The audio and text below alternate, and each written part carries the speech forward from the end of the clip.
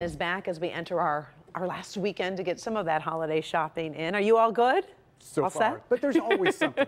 Doesn't it seem like that right when you think of something like, man, I need to get one more thing, but You the weather's going to cooperate for us. Yeah, exactly. Uh, and temperatures only getting warmer as we Yeah. get forward to the period. Uh, but man, we just lost the sunshine today, and the winds are still out there as well. You can tell they're from our shot in Mount Clemens, 34 the air temperature, which is better than we did yesterday by a smidgen.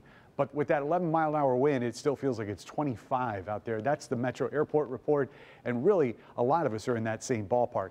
If you saw the clouds get super dark uh, in a couple spots in the afternoon, look at what happened here on the visible satellite.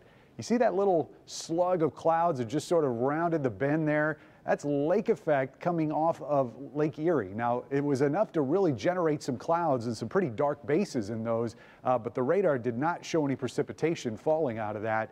Uh, those clouds are starting to thin just a little bit, and as the winds are going to shift around tonight to more out of the southwest, uh, that'll put an end to those clouds. However, we do have a lot more sunshine coming in the upcoming forecast, uh, just not going to be a whole lot uh, in the way for the rest of today.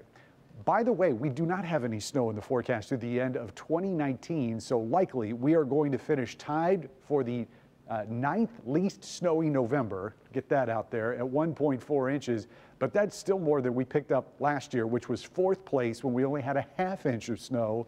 And remember, this is coming off that November uh, where we saw that Veterans Day snowstorm where a lot of us picked up more than nine inches of snow.